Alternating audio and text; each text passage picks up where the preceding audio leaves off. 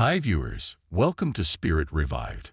My name is Brother Joel and here we narrate near-death experiences, raptured dreams and visions and testimonies from around the world. I'm now going to read out the vision our dear sister sent, exactly as she wrote it, with no parts omitted or added. God bless you. Good day, sir. I am moved to send you this email concerning a vision I had about what is set to happen in the year 2025. There is more that people are unaware of regarding the year ahead, which is why many Christians are lukewarm in their pursuit of God. My name is M. Thompson, and I have always had a deep passion for teaching American history. I believe history is more than just memorizing dates and facts. It's about understanding the struggles, triumphs, and values that continue to influence our lives today. I am also a lover of God and seek to do His will in everything I do.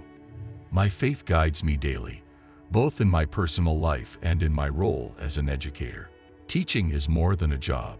It's a calling, a way to serve both God and my students. By God's mercy, I have been blessed with divine visitations and visions, reminding me of His presence and purpose.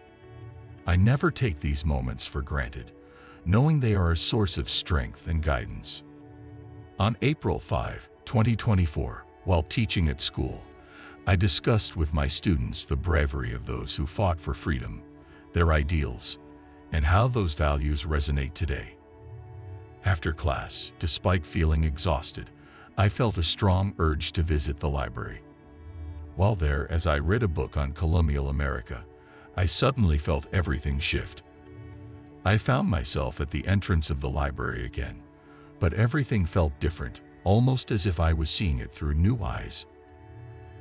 I was drawn to a gigantic book titled Asterisk, The World's Future Untold Asterisk.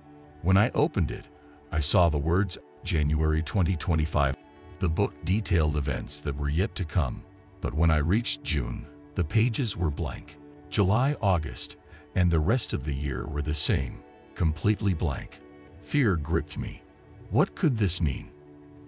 I approached the library attendant, whose presence felt different, calming. He told me that every book in the library held the future of a nation or state, and the book I held revealed the truth about 2025. He explained that the last seven months of 2025 will be filled with events too dark to be recorded in detail, including economic collapse, famine, and persecution of Christians. He spoke of intense tribulation, with food shortages affecting even the most prosperous nations, and believers being tested like never before. When I asked if there was hope, he reminded me that with God, nothing is impossible. Suddenly, I found myself back in my body, drenched in sweat, overwhelmed by the weight of what I had just experienced. This vision is not just a personal revelation, but a warning to all of us. There is a great tribulation coming in 2025, and we must take this message seriously. Our prayers are powerful tools in this fight. Unbelievers must repent, and Christians must strengthen their faith. With God's intervention, nothing is impossible. Let us rise to this challenge in unity and faith, trusting in the power of prayer. Thank you for listening. Let's continue to pray for God's mercy and guidance as we approach 2025. God bless you all. Dear Sister M. Thompson, we deeply appreciate your courage in sharing the vision that God has revealed to you. The message you have sent is powerful and truly sobering.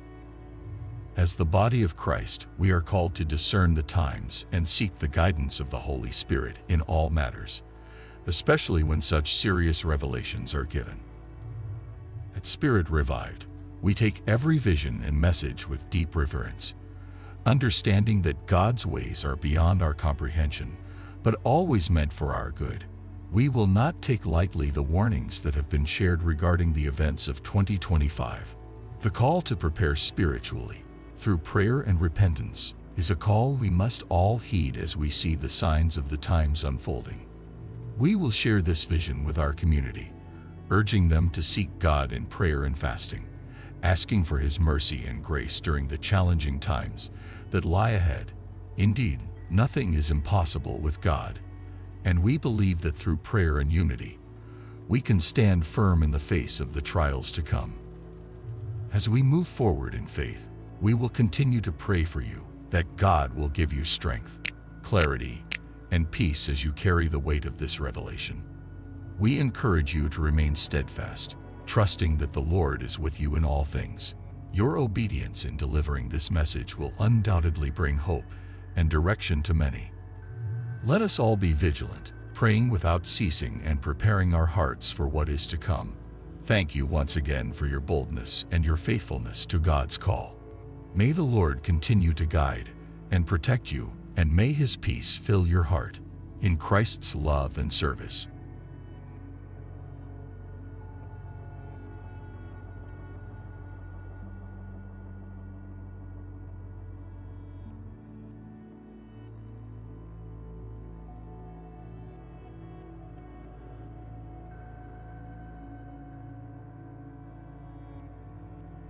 Dear viewers, I wanted to take a moment to express my deepest gratitude to each and every one of you who watch and engage with ours videos.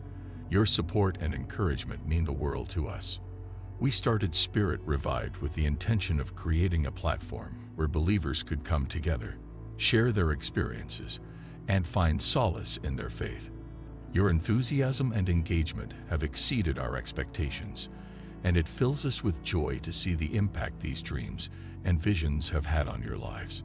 To those who resonated with the dream, I want to remind you that even in the face of terrifying circumstances, there is always hope.